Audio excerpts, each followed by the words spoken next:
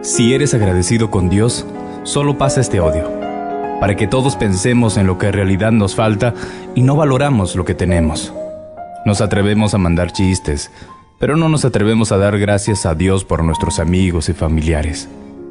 No te quedes con este audio, reenvíalo y que Dios te siga bendiciendo.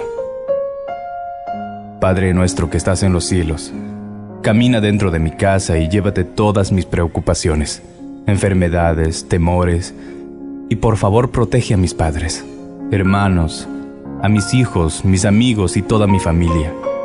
En el nombre de Jesús. Amén. Si Dios está primero en tu vida, deja de hacer lo que estás haciendo y envía este audio, para que así todos tus contactos hoy reciban una bendición. No hay silencio que Dios no entienda, ni tristeza que Él no sepa.